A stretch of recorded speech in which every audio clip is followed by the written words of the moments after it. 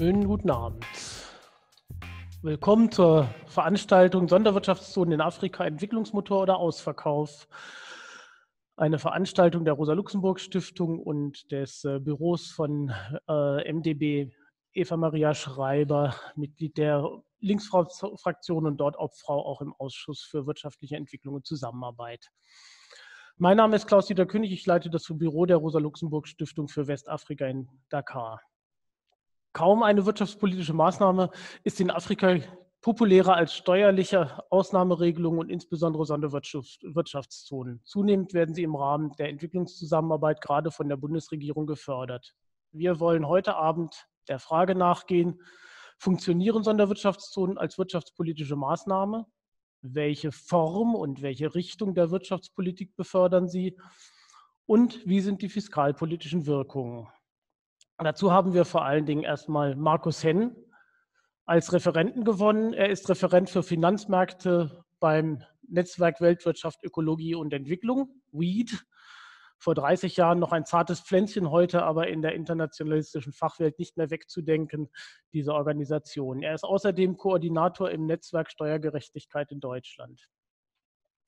Er ist Autor der Studie für die RLS Illusion der Souveränität, Sonderwirtschaftszonen und Sondersteuern in Afrika und ist dort diesen Fragen nachgegangen im Rahmen dieser Studie. Er wird also diese Studie im Rahmen dieser Veranstaltung der Öffentlichkeit vorstellen. Und gerne können Sie die Studie im Internet herunterladen, auf der Webseite der RLS oder auch die Druckversion bestellen. Dr. Frauke Banse, Frauke Banse wird die Studie äh, kommentieren im Anschluss.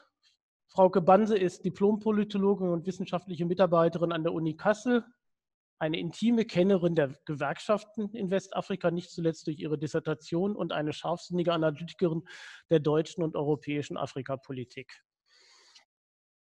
Äh, die Veranstaltung gleich eröffnen wird Eva Maria Schreiber, auch noch dann äh, die Fragerunde eröffnen.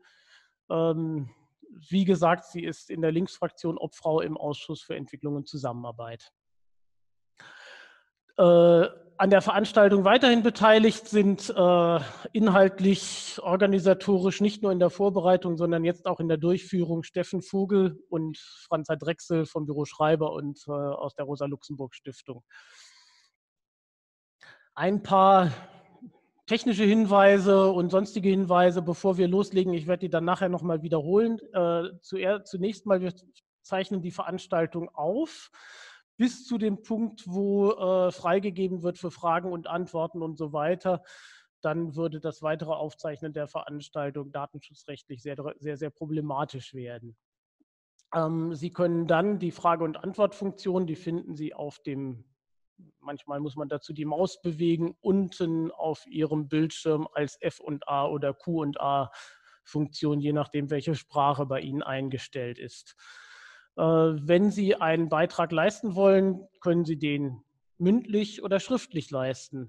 Ähm, und dafür bitten wir Sie dann in dieser Frage- und Antwortfunktion kurz einzugeben Audio. Dann werden Sie ähm, akustisch zugeschaltet. Video würde bedeuten, dass man Sie dann auch sehen kann. Ähm, da ist dann eine kurze Pause erforderlich, bevor das geht, weil Zoom technisch so funktioniert. Oder schriftlich, dann wird die Frage einfach vorgelesen und äh, man hört und sieht sie nicht direkt, sondern nur den Inhalt Ihrer Frage. Also Sie bestimmen dadurch auch, was von Ihnen dabei, welche Daten oder Bilder von Ihnen dann in diesem Rahmen öffentlich werden. Wie schon gesagt, aufgezeichnet wird dann nicht mehr. Und natürlich mit der Option Video würden Sie dann auch zustimmen, dass diese Bilder zumindest jetzt im Moment dann äh, entsprechend weiter verbreitet werden. Äh, ja, und damit gebe ich äh, weiter für äh, eröffnende Worte an Eva Maria Schreiber mit des Bundestages der Linkfraktion. Eva, du hast das Wort. Dankeschön. Möchte ich Sie auch alle ganz herzlich begrüßen und dann gleich ins Thema einsteigen. Sonderwirtschaftszonen. Und die sind alles andere als ein neues Phänomen. Das Konzept von Freihäfen oder Händlern, die von ihren Schiffen herunter Handel trieben, ohne Zölle und Steuern zu bezahlen, war bereits vor Jahrhunderten bekannt. Einen großen Aufschwung erfuhren die Zonen mit der Globalisierung und den exportorientierten Entwicklungsstrategien seit den 80er Jahren. Das Wachstum ist rapide. Seit den 90er Jahren hat sich die Zahl der Sonderwirtschaftszonen verzehnfacht. 1995 gab es weltweit 500 Zonen, 2018 waren es schon 5400. 90 Prozent davon liegen nicht in Industrieländern. Was steckt jetzt hinter dem Begriff?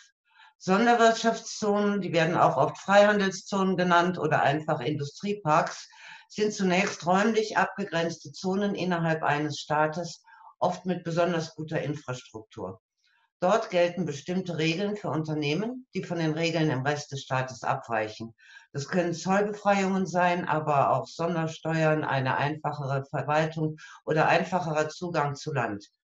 Ziel ist es, ausländische Investoren anzulocken, Arbeitsplätze und Wirtschaftswachstum zu schaffen und Technologietransfer zu ermöglichen. Außerdem können ausländische Investitionen wichtige Steuereinnahmen generieren, die der Staat zum Ausbau von öffentlicher Daseinsfürsorge nutzen kann. Das Positivbeispiel schlechthin für diesen Effekt ist China, das eine in der Geschichte beispiellose Industrialisierung hingelegt hat, auch dank der Sonderwirtschaftszonen. Aber diese Entwicklung gab es nicht ohne negative Nebeneffekte und, wie sich zeigen sollte, ist sie in anderen Ländern nur schwer reproduzierbar. Viele Sonderwirtschaftszonen scheiterten, weil die Investoren fernblieben. Andere boten den Unternehmen so große Privilegien, dass am Ende weder Arbeiterinnen und Arbeiter noch das staatliche Gemeinwesen noch die wirtschaftliche Entwicklung davon profitierten.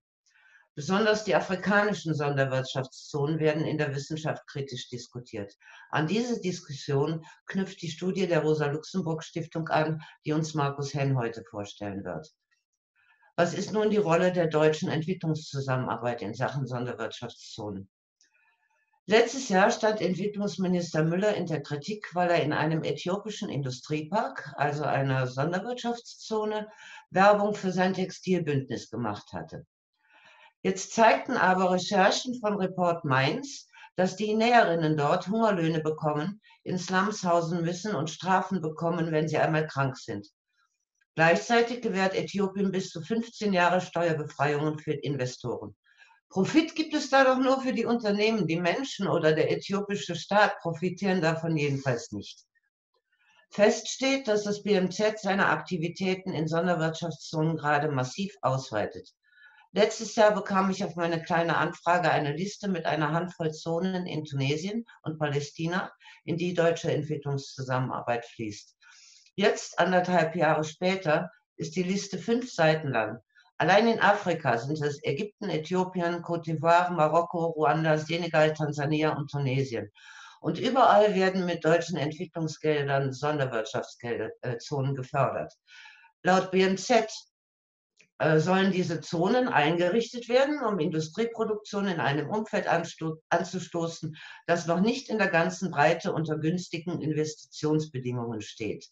Während sie in den Augen des BNZ zunächst viele Arbeitsplätze schaffen, hängt ihr Beitrag zu nachhaltiger Wirtschaftsentwicklung unter anderem davon ab, ob sie lokale Wertschöpfungsketten bilden, also etwa langfristige Aufträge an lokale Zulieferer generieren und davon, ob sie sich im Markt bewähren.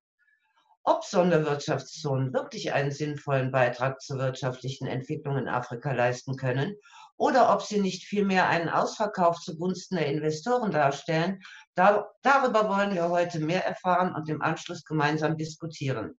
Und nochmal zur Wiederholung, bei Fragen melden Sie sich bitte per F und A bei unserem Administrator Steffen Vogel. Sie können Ihre Frage schriftlich formulieren oder selbst Redebedarf anmelden mit äh, Reden oder Video oder und. Und nun aber zu Markus Henn, der uns seine Studie Die Illusion der Souveränität vorstellen wird. Ja, vielen Dank für die Einführung. Sieht man mich jetzt, ja? Ich muss kurz meinen Bildschirm noch freigeben. So.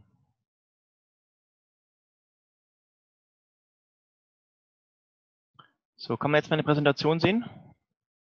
Gut. Ja, vielen Dank, dass ich Ihnen kurz und euch kurz meine Studie vorstellen darf mit dem schon genannten Titel Die Illusion der Souveränität, Sonderwirtschaftszonen und Sonderstunden in Afrika. Zunächst will ich ganz kurz sagen, warum ich diesen Steuerfokus hier gewählt habe. Also ich habe nicht die Zonen umfassend äh, bewertet, sondern einen Fokus gehabt auf die Frage der Sondersteuern, die dort oft gewährt werden.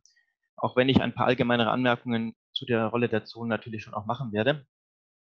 Ich habe den Fokus deshalb gelegt, weil Steuern eben ein entscheidender Faktor sind für den Staat und auch Ausdruck seiner Souveränität, Steuern zu erheben oder auch nicht zu erheben, ist einfach das wirklich wichtigste oder eines der wichtigsten, was ein Staat tun kann. Und in den ärmeren Staaten der Welt ist eben eines der Probleme, dass sie zu wenig Steuern haben. Ich habe hier eine Karte von einem UN-Projekt, wo man sehen kann, je heller ein Land ist, desto weniger Steuern hat es, gemessen an der Wirtschaftsleistung. Je dunkler desto mehr Steuern. Und wir sehen eben, dass gerade in Afrika bis auf ein paar Ausnahmen und gerade so im, im Sahara-Bereich doch sehr helle ähm, Länder sind. Das heißt also, da sind oft ziemlich niedrige Steuereinnahmen gemessen an der Wirtschaftsleistung. Und das ist eigentlich aus Sicht der Staaten selber auch ein Problem. Und sie bekennen sich auch dazu, diese Steuern zu erhöhen und haben auch Bemühungen. Aber es trifft eben auch Schwierigkeiten, die unter anderem damit zusammenhängen, dass man im Rahmen von Sonderwirtschaftszonen viele Steuerbegünstigungen Sondersteuern habe ich es jetzt immer genannt, einheitlich gewährt. Und äh, ich habe hier mal ein Beispiel eben, wie das dann aussieht, aber das ist eigentlich eben typisch für Sonderwirtschaftszonen. Auch bei der ähm, großen Erhebung, die letztes Jahr die UNCTAD gemacht hat im Rahmen ihres World Investment Report, war klar, dass Sondersteuern der wichtigste Faktor bei Sonderwirtschaftszonen sind, den also praktisch die meisten Zonen als ähm, Merkmal haben. Und das sieht dann eben oft so aus wie hier in Tansania. Da hat man ganz oben zum Beispiel eine Sondersteuer, das ist sozusagen die extremste Form äh, für ganz bestimmte sehr wichtige Investitionen ab einer sehr großen Größenordnung, auch mit vielen Arbeitsplätzen verbunden. Da gibt es eine offizielle Einzelverhandlung der Steuer, wo man dann wirklich völlig frei erstmal als Unternehmen mit dem Staat verhandeln kann. Und dann folgen Sondersteuern, die eher gesetzlich auch geregelt sind und zumindest in der Umfang klar geregelt sind.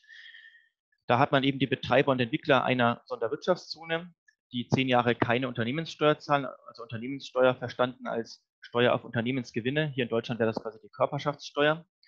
Dann eben auch keine Steuer auf die zur Entwicklung notwendigen Materialien, keine Quellensteuer auf diverse Einnahmen, keine Gemeindesteuern, keine Grundsteuern und noch andere Sachen.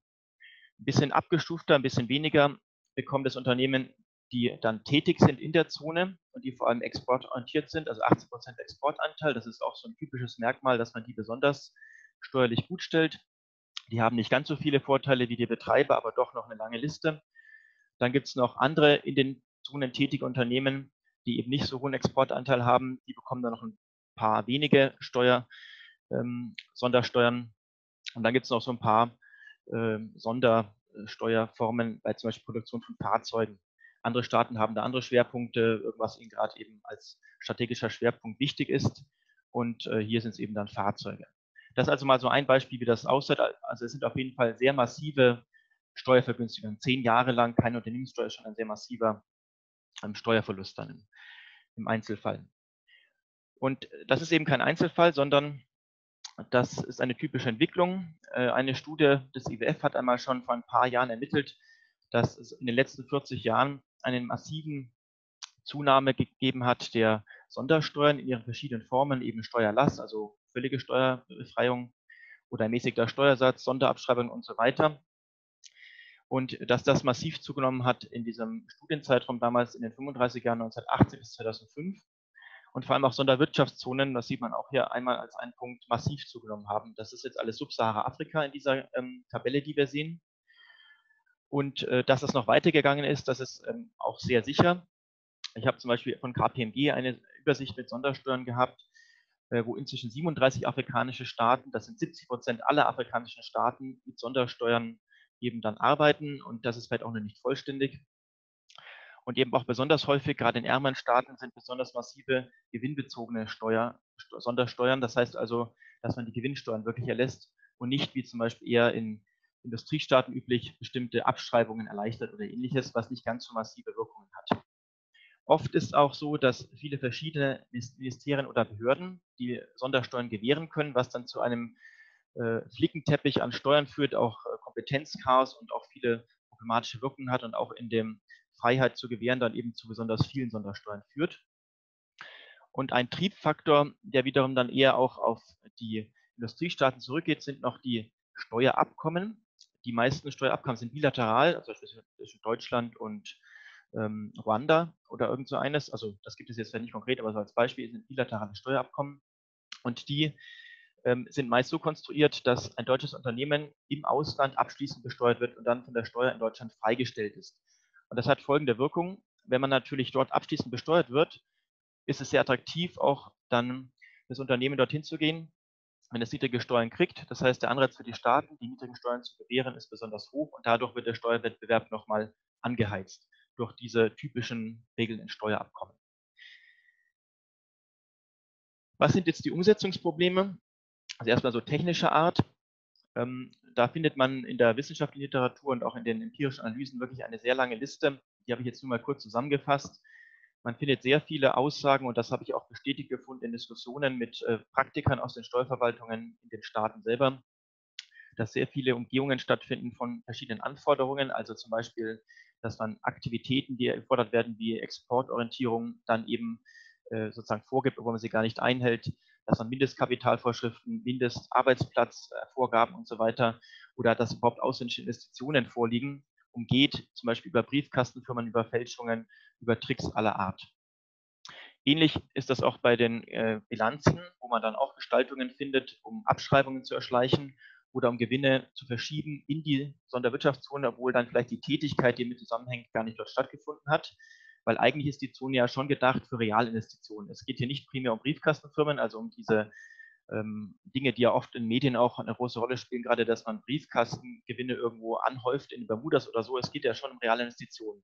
Aber nicht immer eben auch bei diesen Zonen wird das wirklich eingehalten, sondern es gibt eben Umgehungen.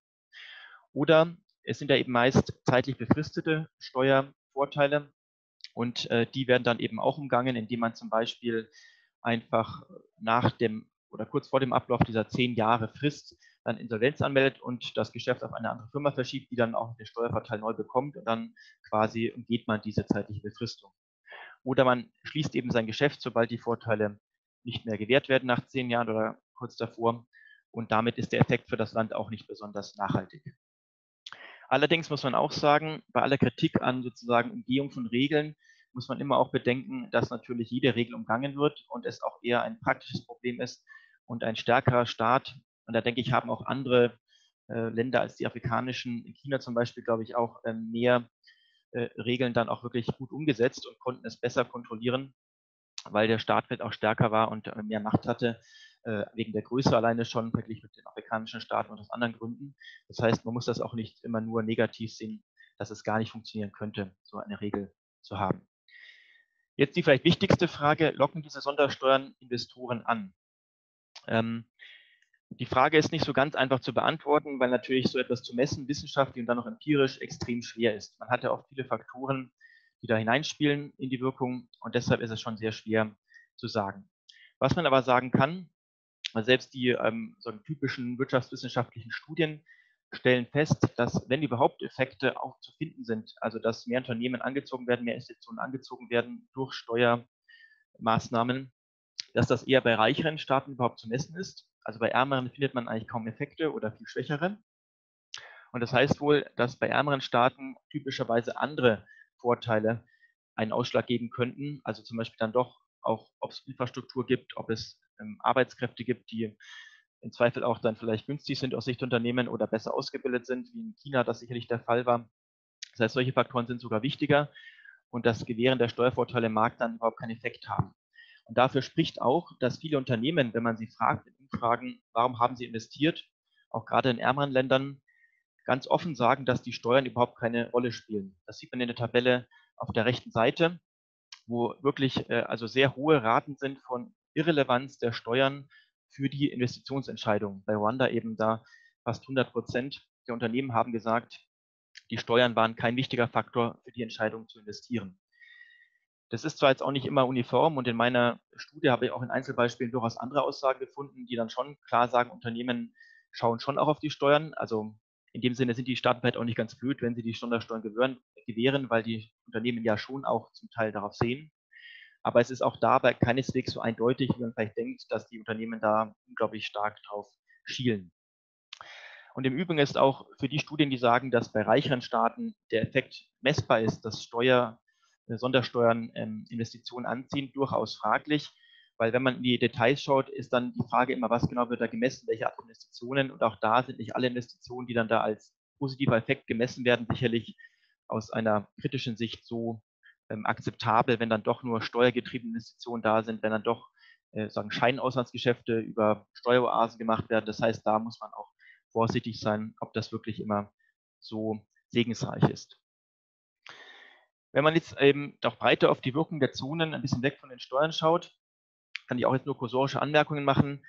Hier mal ein Beispiel in Äthiopien. Ich habe immer versucht, äh, für die sechs Länderbeispiele, die ich untersucht habe, unter anderem Äthiopien eben, äh, zu zeigen, was sind die Exporte und Investitionen, weil das sind zwei der Hauptdinge, die eigentlich gefördert werden sollen mit den Zonen, also mehr Exporte, mehr Investitionen aus dem Ausland, in schon auch für Fabriken, also Direktinvestitionen ist da der Fachjargon.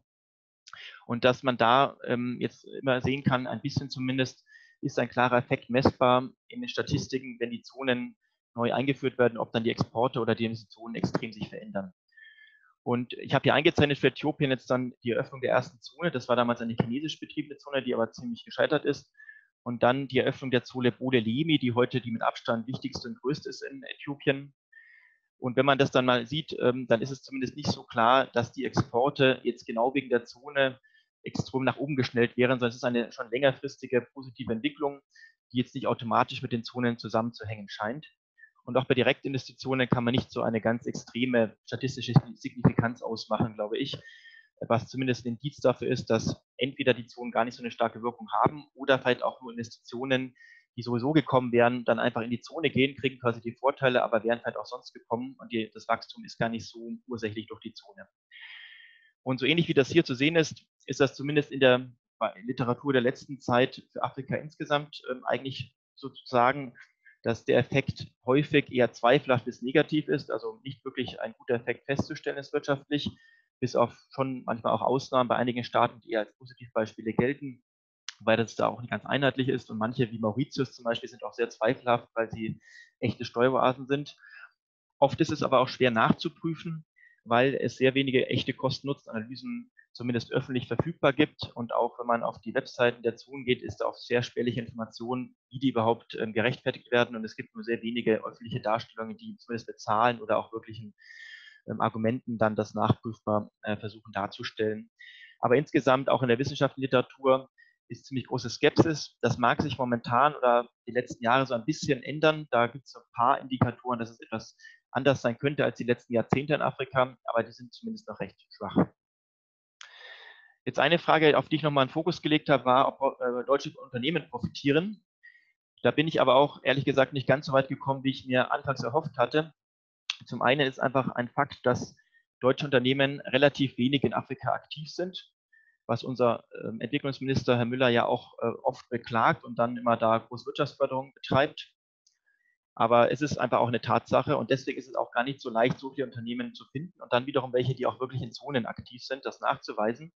Und ich habe zumindest die äh, Beispiele, die ich gefunden habe, einmal angeschrieben und habe auch Antworten bekommen, unter anderem von VW und Heidelberg Zement.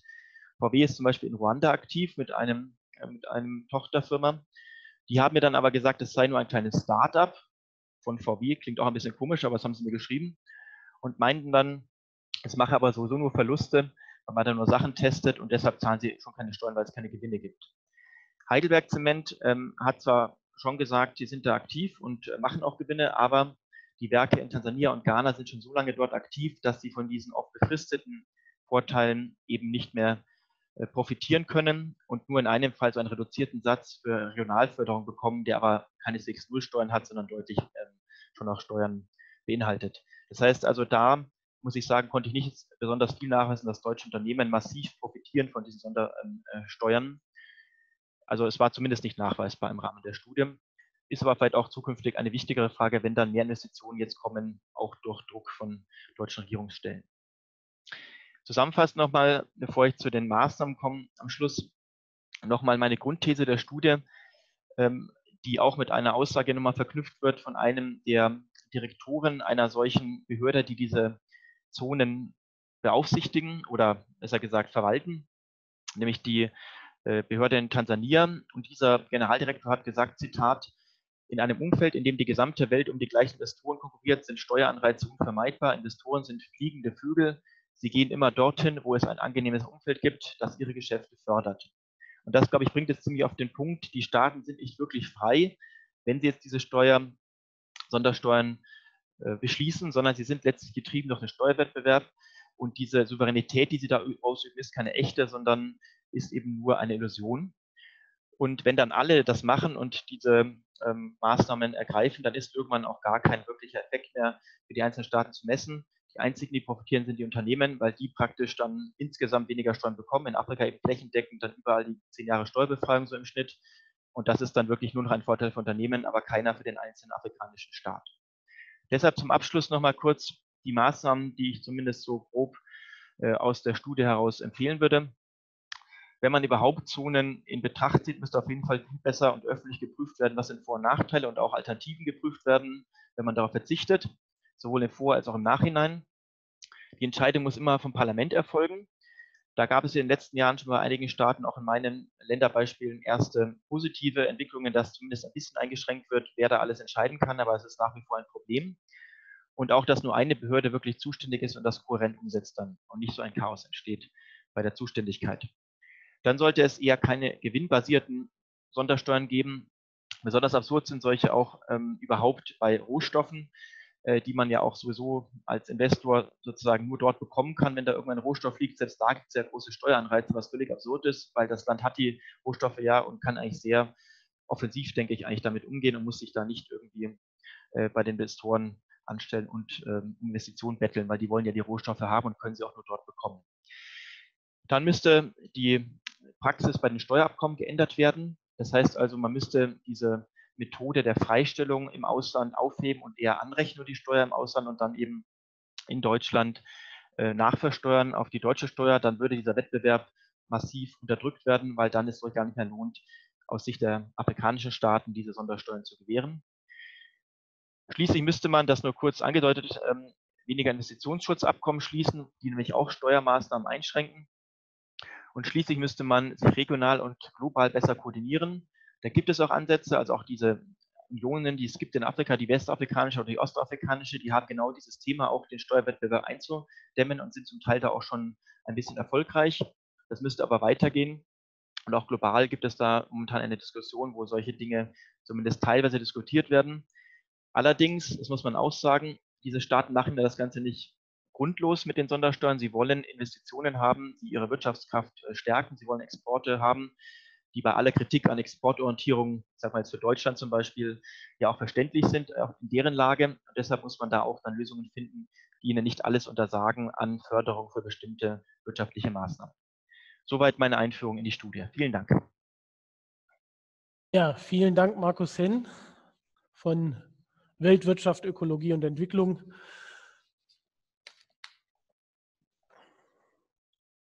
Äh, Nochmal der Hinweis, die Studie, die Markus Henn gerade vorgestellt hat, ist auf der Webseite der Rosa-Luxemburg-Stiftung abrufbar und auch als äh, Druckausgabe zu bestellen.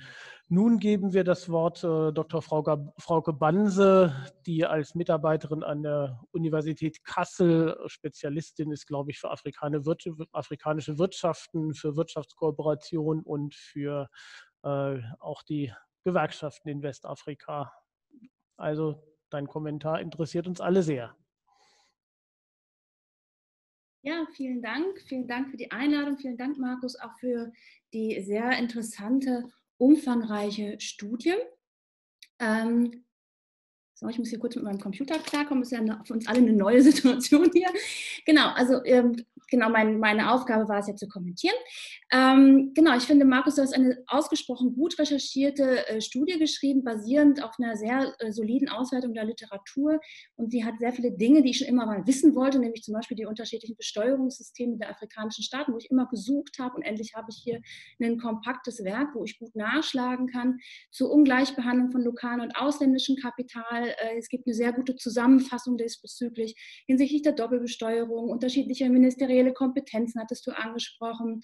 Ähm, verschiedene Tricks aller Art, sich sozusagen diese Steuern auch zu erschleichen. Das ist alles ausgesprochen interessant. Was ich auch nochmal, die sich ja nochmal stärker mit dem Compact with Africa auch beschäftigt hat, äh, sehr interessant fand, war eben, dass dieses, dieses sozusagen dieses Plädoyer aus dem Compact with Africa, äh, dass sozusagen das äh, interne Steueraufkommen erhöht werden soll, dass das sich offenbar aber nicht in der Besteuerung von ausländischen Direktinvestitionen niederschlägt, sondern offensichtlich, korrigiere mich, aber so habe ich es gelesen, eher der Gegenteil, das Gegenteil äh, der Fall ist und hier so zurück, äh, zurückgefahrenes Steueraufkommen zu, zu verzeichnen ist. Das fand ich sehr interessant. Ähm, auch hast du vielleicht einen guten Überblick über die Diskussion über die Sonderwirtschaftszonen gegeben und eben auch die methodologisch sehr problematische Wirkungsanalyse. Ja, bringen die jetzt was oder bringen die nichts? Da hast du verschiedene, gibt es eben keine einheitlichen Messparameter. Das ist wirklich eine sehr schöne Studie, um auch ein gutes, kompaktes Werk hier zu haben. Vielen Dank dafür. Ich bin aber ja für einen Kommentar eingeladen worden und deswegen auch für eine Kritik dieser Studie, und das äh, mache ich jetzt mal. Und zwar bezieht er sich so ein bisschen auf das Forschungsdesign und auf die Forschungsfrage. Das ist jetzt keine akademische Gymnastik, sondern hat, glaube ich, inhaltlich politische Relevanz. Ähm, du hast auf Seite 7 deine Fragestellung, die will ich hier ganz kurz nochmal vorlesen vielleicht, weil ja nicht alle die Studie gelesen haben.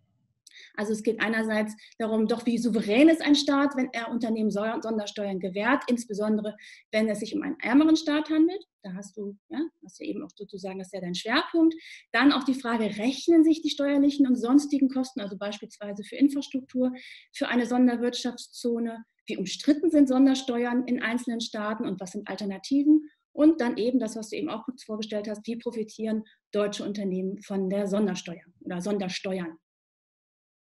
Mit dem Hinweis auf den allgemeinen Steuerwettbewerb stellst du fest, das hast du eben auch zusammengefasst, dass sich die Annahme staatliche Souveränität als Illusion erweist. Entsprechend verweist du eben auf die Notwendigkeit einer überregionalen und internationalen Kooperation und Lösungswegen. Und du stellst eben fest, dass nur wenige deutsche Unternehmen von Sondersteuern zu profitieren scheinen. Zwei der vier Fragen aber sind nicht wirklich beantwortet worden. Und das ist auch schwer, wenn der Fokus auf Steuern gelegt wird. Nämlich A, die Frage, äh, ob sich die Kosten lohnen. Ja?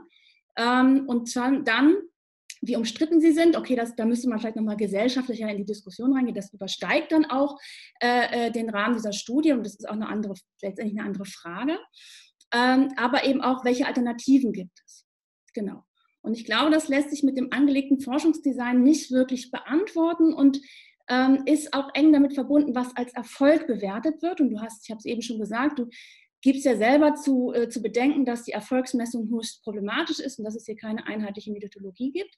Trotzdem fragst du nach dem Erfolg, wenn du fragst, hat es sich gelohnt? Das ist ja sowas wie eine Erfolgsfrage. Ja? Und es gibt dazu keine wirkliche Definition, es gibt dazu Andeutungen äh, auf Seite 8 erwähnst du kurzfristige Wirkungen, die interessieren mich jetzt erstmal nicht, sondern mich interessieren die langfristigen äh, entwicklungspolitischen Wirkungen, die vielleicht von so einer Sonderzone ausgehen können. Das ist der Wissens- und Trans äh, Technologietransfer zur Steigerung der Wertschöpfung, Diversifizierung der Ökonomie, Qualifizierung der Beschäftigung und eben Verbindung zwischen Sonderwirtschaftszone und lokaler Ökonomie. Ja, also sozusagen das die, die Forward- und Backward-Linkages in, innerhalb von äh, äh globalen Produktionsnetzwerken. Genau, Eng mit der Frage von Lohn und Erfolg verbunden ist die Frage danach, wieso sich eine bestimmte Politik von Sonderwirtschaftszonen in China oder auch Südkorea unter bestimmten Gesichtspunkten gegebenenfalls bewährt hat. Auch da müssen wir nochmal gucken, was eigentlich hier Erfolg ist. Und du erwähnst es auch in deiner Studie, sowas wie Arbeitsrechte, autoritäre Staatlichkeit und so weiter fallen eben bei dieser ganzen Frage auch oft hinten runter. Aber das war jetzt erstmal, können wir vielleicht eine Diskussion nochmal aufgeben. Wichtig ist aber die Frage, weshalb klappt das offensichtlich auch in den verschiedenen Methodologien offensichtlich in Afrika so nicht. Weshalb ist dieser Erfolg so nicht absehbar nicht, oder nicht feststellbar? Ja, Vergleich äh, China, Südkorea, afrikanische Staaten.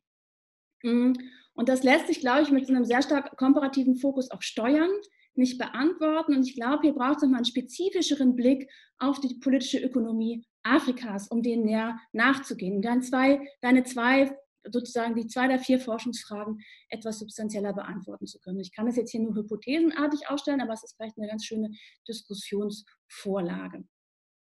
Afrika hat insbesondere in der Schuldenkrise und den Strukturanpassungsmaßnahmen ein, seine Industrie, die sozusagen in nachholender Entwicklung aufgebaut wurde, ganz äh, zart, ja, ist entweder sozusagen zum Stillstand gekommen oder auch zu, zurückgefahren worden. Und wir sehen heute mit Ausnahme Nordafrikas und südlichem Süd, Südafrikas einen ausgesprochen geringen Anteil äh, an äh, verarbeitender Industrie und mit einem sehr geringen Produktivitätsniveau. Mit dem Fokus auf den für uns alle bekannten komparativen Kostenvorteil äh, zur Schuldentilgung hat die Abhängigkeit von Rohstoffexporten nochmal zugenommen. Und jedes sogenannte Upgrading, also jedes sozusagen jede Teilhabe an den globalen Produktionsnetzwerken trifft auf ein ausgesprochen wettbewerbsreiches globales Umfeld auf der unteren Ebene der globalen Produktionsnetzwerke. Und so sehen wir es eben auch beim Versuch von Äthiopien, da irgendwie mitzuhalten in der globalen Textilindustrie äh, und sie unter, also wo, wo es sozusagen einen sehr, sehr hohen Wettbewerb gibt, weil eben die Textilindustrie eines der Einstiegsindustrien sozusagen ist, mit einer, ja, mit einer, mit einer relativ äh, geringen maschinellen Aufwand etc. Und was geschieht? Äthiopien unterbietet Bangladesch, da, du erwähnst, glaube ich, 49 Dollar, ich glaube, es sind 29, jedenfalls vom Lohnniveau massiv das bisher als Niedriglohnland äh, Bangladesch bekannte äh, Textilproduktions. So, das ist sozusagen äh, ja, der, der Preis, der gezahlt wird, um mitzuhalten in den globalen Produktionsnetzwerken. Ähm, genau, so, äh, also äh, genau, zweiter, nächster Punkt wir sehen auch, dass ähm, äh, die afrikanischen Ökonomien ausgesprochen stark vom ausländischen Kapital dominiert werden. Ich glaube, nochmal stärker als andere Regionen dieser Welt. Und das macht große politische und ökonomische Probleme. Darauf können wir später nochmal eingehen. Du hast jetzt so einen leichten Einschlag, finde ich, das nochmal positiver zu sehen. Ich glaube, das ist deutlich problematischer. Denn diese globalen Produktionsnetzwerke und damit dann eben auch jene, die sich dann in Afrika auch äh, äh, zeigen, sind sehr stark von äh, sogenannten Lead Firms dominiert, die eben die bestimmten Investitionsregeln sehr stark vorgeben, auf Kosten der oben genannten Entwicklungsziele, ja, äh, Technologietransfer, Wertschöpfungssteigerung etc. Infant Industry Promotion, Local Content Provision, das ist also, genau, also sozusagen bestimmte Vorgaben, wie eben eine nachhaltige äh, Investitionspolitik, die eben auch eine nachhaltige Entwicklungsperspektiven schafft, tatsächlich gemacht werden können. Und, und da können wir vielleicht nochmal auf die Diskussion drauf eingehen, Sonderwirtschaftszonen tendieren dazu, den Einfluss dieser ausländischen Direktinvestitionen noch zu verstärken. Und ich glaube, wir können das äh, äh in Ghana beobachten, wo ja der UNCTAD-Report sagt, okay, die äh, Sonderwirtschaftszone in Tema in Ghana ist hier eine Ausnahme. Äh, die kann vielleicht als Erfolg gewertet werden. Ich glaube, das ist so, ne, da ist die UNCTAD, liegt sie dann mal falsch, glaube ich. Können wir nochmal später drauf eingehen. Ähm, Genau, die Rohstoffabhängigkeit und die starke Dominanz von ausländischen Direktinvestitionen führt eben zu einem massiven Abfluss von Wert aus dem afrikanischen Kontinent, der eben auch den Rückfluss äh, durch die Entwicklungshilfe massiv übersteigt. So, und all diese Elemente unterscheiden den afrikanischen Kontinent fundamental von zum Beispiel China und Südkorea, die ihre Industrialisierungsstrategien sehr zielgenau unter sehr staatlichem Schutz unter, äh, äh, und unter einem weit weniger kompetitiven globalen Umfeld geführt haben, als wir es jetzt haben. Ja, hinzu kommt noch bei Südkorea die geopolitischen äh, Vorteile etc. etc. Ähm, wir müssen also, wenn wir sozusagen die Frage des Erfolges stellen, ja, und wieso oder beziehungsweise Misserfolges, müssen wir äh, sozusagen Steuern sind relevant für die Sonderwirtschaftszone, das ist eines ihrer Merkmale, aber wir müssen sozusagen nochmal stärker auf die politische Ökonomie dieser Sonderwirtschaftszone eingehen und sie in den Kontext stellen, dort, wo sie, äh, wo sie etabliert werden sollen, äh, um dann eben zu fragen, hat sich es gelohnt und was sind eigentlich die Alternativen? Äh, noch vielleicht eine Anmerkung zum Schluss, die wir vielleicht in der Diskussion aufnehmen können. Diese Frage, ob deutsche Unternehmen da jetzt sind oder nicht, finde ich gar nicht so relevant. Das hast du ja aber eben auch schon gesagt, sondern wichtig ist eben zu gucken, wie ist es vielleicht in der Zukunft und was tut die deutsche Bundesregierung, um das vielleicht auch zu ändern. Gut, das jetzt als ganz schnellen Rundumschlag. Wir haben gleich nochmal Möglichkeit, äh, das ähm, zu diskutieren. Vielen Dank. Ja, vielen Dank, Frau Gebanse. Vielen Dank, Frau Gebanse. Ähm, damit steigen wir jetzt in die Diskussion ein. Vielen Dank. Sie haben schon sehr viele Fragen gestellt über die Frage- und Antwortfunktion, die sich äh, am Boden oder oben an Ihrem Bildschirm befindet, je nachdem, wie Sie Ihr Zoom eingestellt haben. Ähm, wir werden, äh, und bitte fügen Sie den Fragen hinzu, in welcher Form Sie die stellen wollen. Ähm, es gibt die Möglichkeit, äh, dass Sie die selber mündlich stellen, dass Sie die selber mit Video stellen. Selber mündlich, dann schreiben Sie bitte Audio dazu, mit Video dann bitte Video dazu schreiben oder dass die schriftliche Frage vorgelesen wird. Äh, dann reicht schriftlich als kurze Anmerkung, damit wir wissen, wie wir vorgehen. Die Fragerunde eröffnen jetzt erstmal ähm, Eva Maria Schreiber und ich.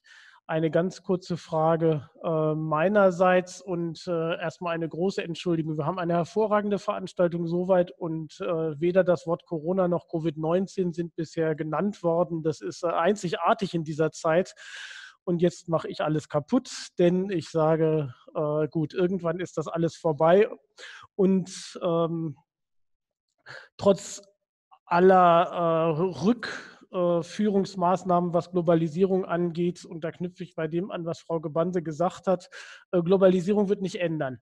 Ähm, aber Europa und natürlich auch USA und so weiter werden ihre Strategien anpassen und dazu wird auch gehören, in den Lieferketten zusätzlich zu dem, was jetzt schon geschehen ist, Abhängigkeiten zu reduzieren. Also ist jetzt natürlich in die Zukunft geguckt, aber es äh, geht ja auch ökonomisch gar nicht, die Lieferketten vollständig zu kappen. Rohstoffabhängigkeiten sind da. Zu attraktiv sind die billigen Ressourcen und die billigen Arbeitskräfte, die man sich ja auch unter anderem durch die Sonderwirtschaftszonen erschließen will aber wird nicht noch mehr Akzent auf Diversifizierung gesetzt werden. Und das bedeutet noch mehr Standortkonkurrenz, noch mehr Steuersenkungs- und äh, Steuerbefreiungskonkurrenz. Kann man eine solche Entwicklung oder vielleicht sogar Beschleunigung dieser Entwicklung absehen? Und äh, auch ein zunehmendes Interesse an Einflussnahme auf die Wirtschaftspolitiken der afrikanischen Staaten, sodass das, was einige afrikanische Intellektuelle jetzt sagen, wir müssen eigentlich eine stärkere wirtschaftspolitische äh, Souveränität erlangen, äh, auf jeden Fall äh, versucht werden wird, von europäischen Staaten zu verhindern. Und da wäre natürlich die erneute Verschuldungskrise, die sich ja auch nochmal verschärfen wird, auch ein willkommener Anlass, die Konditionalitäten und die, den Reformteil der Reformpartnerschaften zu erhöhen. Also da würde mich die Einschätzung von Markus und Frauke sehr interessieren.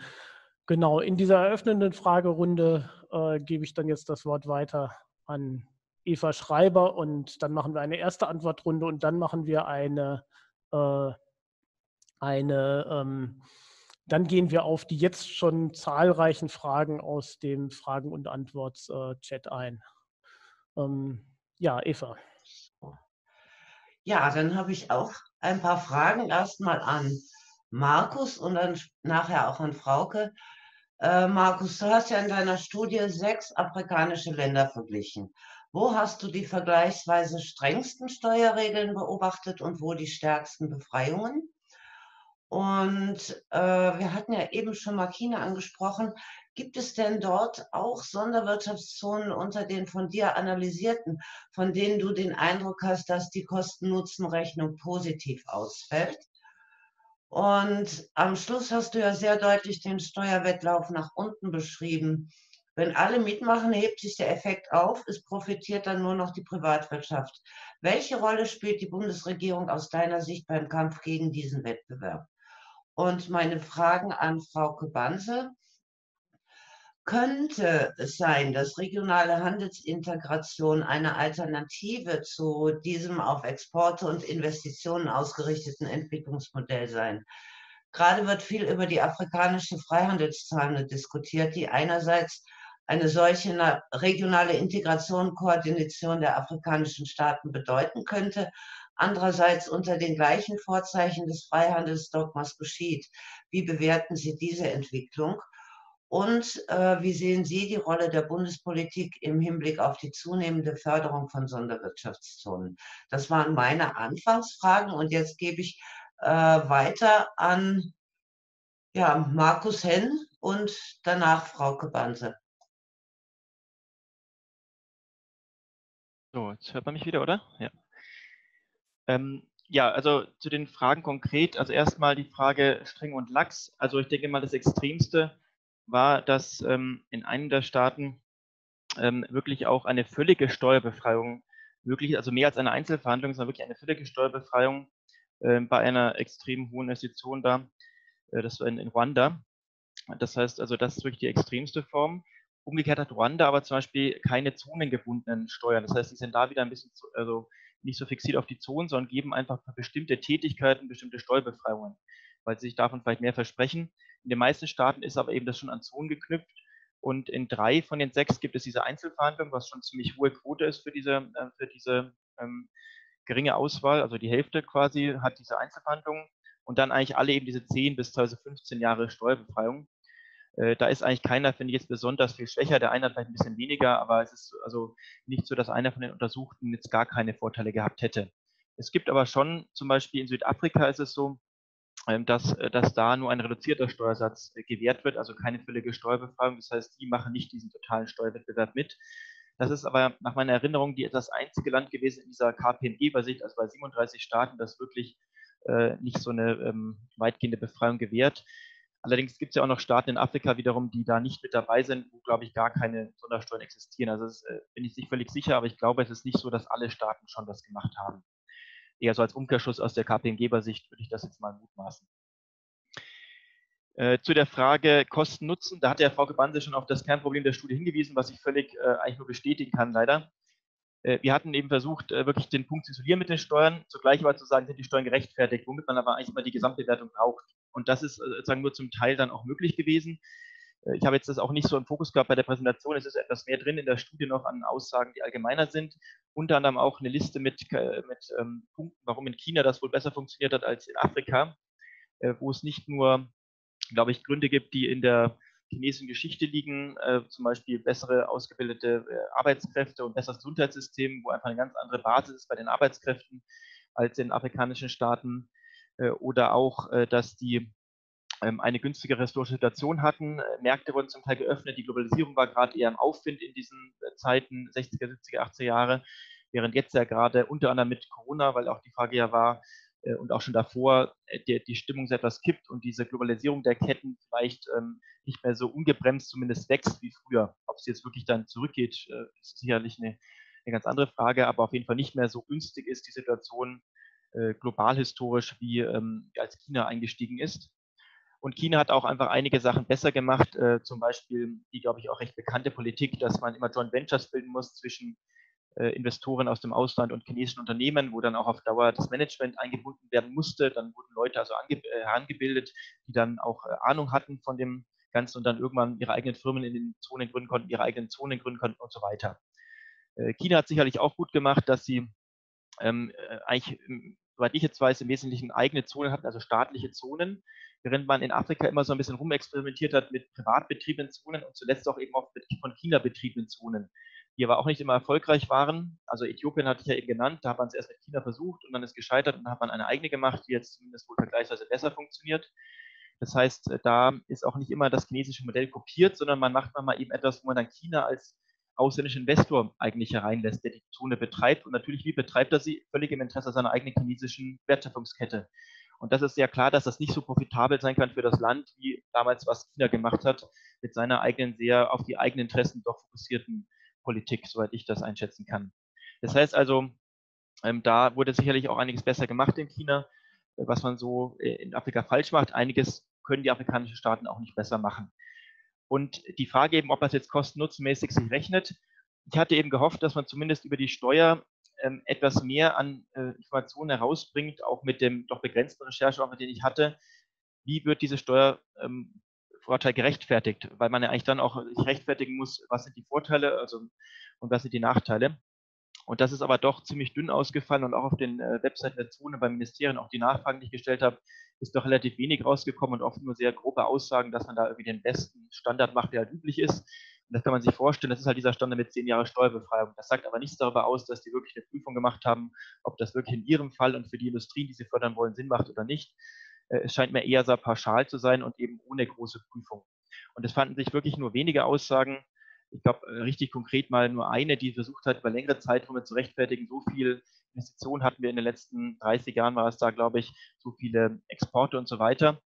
Und dann hieß es eben in dieser Darstellung, und äh, irgendwelche Dissidenten würden quasi das irgendwie runterreden, den Erfolg der Zonen, aber in Wahrheit ist es ein Riesenerfolg.